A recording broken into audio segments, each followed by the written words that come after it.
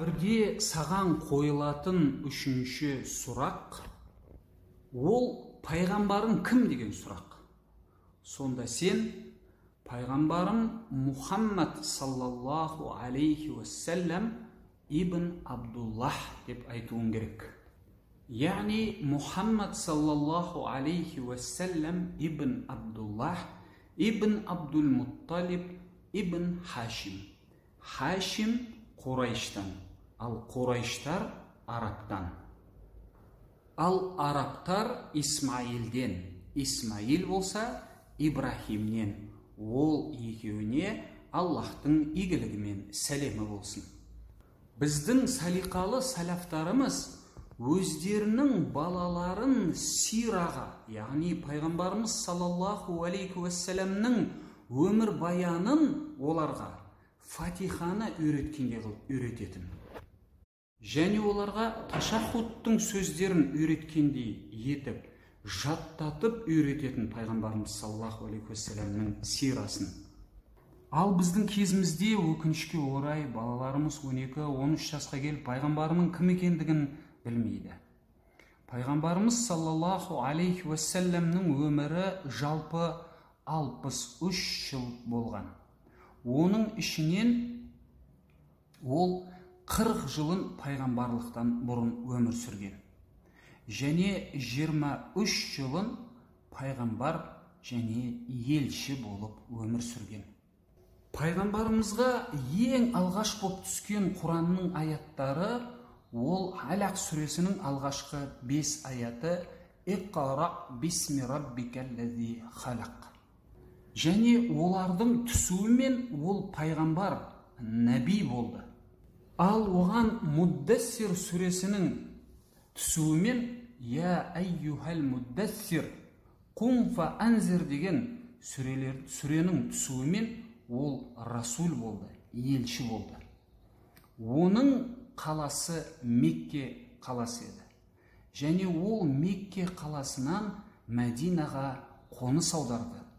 Құрайыштық кәпірлердің қысымынан. Пайғамбарымыз саллаллаху алейхи уассалам осы 23 жыл пайғамбарлық және елшілік кезінде не нәрсеге шақырды адамдарды? Бұл өте маңызды мәселе. Яғни пайғамбарымыз саллаллаху алейхи уассалам ең алдымен адамдарды бір құдайшылыққа таухидке шақырды. Және ол адамдарды ширктен қайтарды ширктан тыйды. Міне осы пайғамбарымыз саллаллаху алейхи уассаламның дағуаты міне осы пайғамбарымыз саллаллаху алейхи уассаламның шақыруы осы болды. Пайғамбарымыз саллаллаху алейхи уассалам кімдерге жіберілді аллах тарапынан? Кім жауап береді? Пайғамбарымыз саллаллаху алейхи уассаламды аса жоғары раббымыз аллах бүкіл адамзатқа жіберді.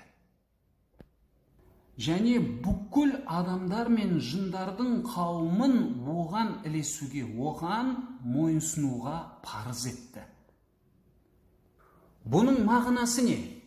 Бұның мағынасы кімге пайғамбарымыз саллаллаху алейхи уассаламның дағуаты шақыруы жетіп және ол оған иман келтірмесе оның шариғатына мойынсұнбаса мұсылманмын деп өзін жарияламаса сол кәпір болады.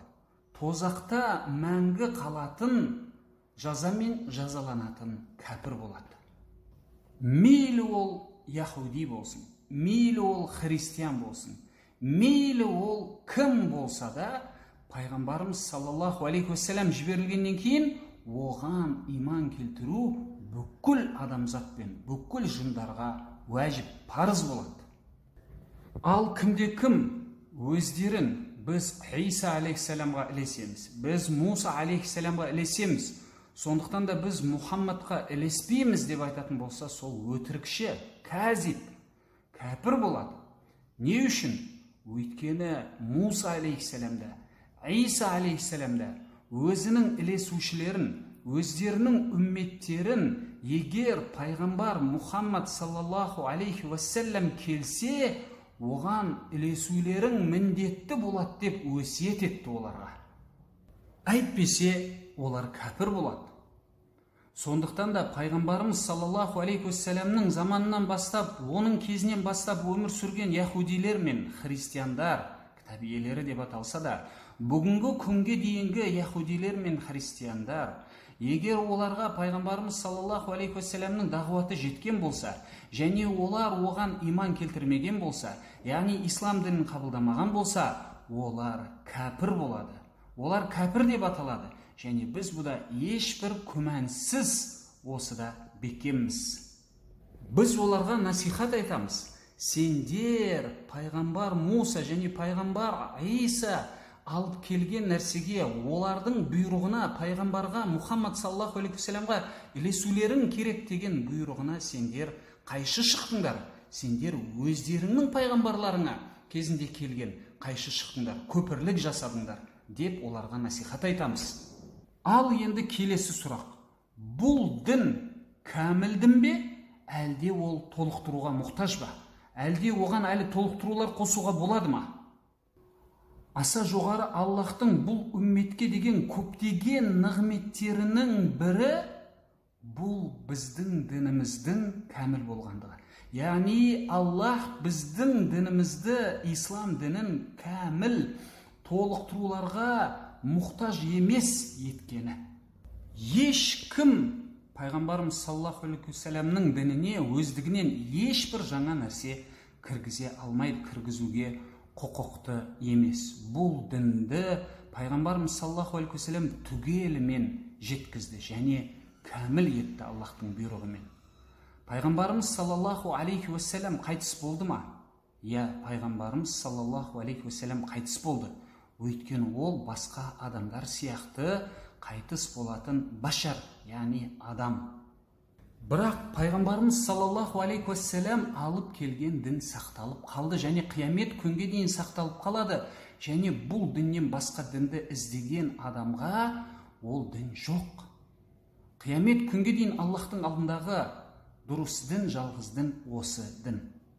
Және ол пайғамбарымыз саллаллаху алейхи уассалам бізге нұсқап кетпеген жақсылық жоқ. Яғни қандай жақсылық болатын болса жер бетінде бізді жәннатқа кіргізетін ол міндетті түрде оған бізге нұсқап кетті. Және бұл дүниеде біз адамдарды тозаққа кіргізуі мүмкін болатын қандай жамандық болатын болса ол одан ескертіп сақтандырып кетті қалдырмай бірде бір жамандықты ескертпей қалдырып кетпеген жоқ. Барлық жамандықтан бізді қайтарып кетті. Және оған хижра жасауынан үш жыл бұрын бес намаз бес уақыт намаз парыз етілді ол бізге әмір етіп кеткен ең ұлы нәрсе ол таухид ал ол бізді сақтандырып кеткен тыйып кеткен одан ең ұлы нәрсе ең жаман нәрсе ауыр нәрсе ол ширк пайғамбарымыз саллаллаху алейхи уассаламға аллахтың игілігі мен сәлемі болсын ал аллах бұл туралы жақсырақ біледі.